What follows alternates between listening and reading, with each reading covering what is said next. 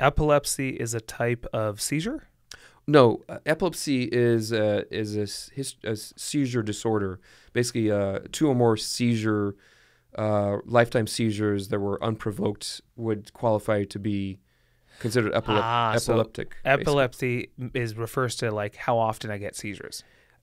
E- epilepsy refers to you having the propensity to get seizures.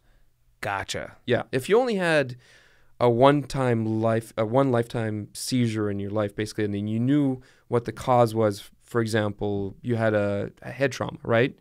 Sometimes after concussion, people can get seizures. So that is your first and only seizure. We wouldn't call you epilep- uh, uh, uh, epileptic.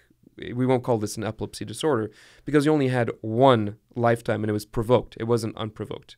If you had two or more unprovoked seizures, meaning there were no causes that you can you as a physician can ascertain, then more likely than not, this is an epilepsy. And then the reason why it's important is because if it's epilepsy, then they need to be on medications to prevent future episodes. Ah, Because again, if you have somebody with epilepsy and they have recurrent seizures, it's like we say seizures beget seizures. And it's also kind of applicable to migraines. We just say migraines beget migraines or headaches beget headaches. So whatever the state is, it's like sometimes it goes to short circuit and it's just like a loop that you have to stop somewhere. That's where these medications, the anti-seizure medications come into play. They stop this loop from going on and on and on or from recurring basically.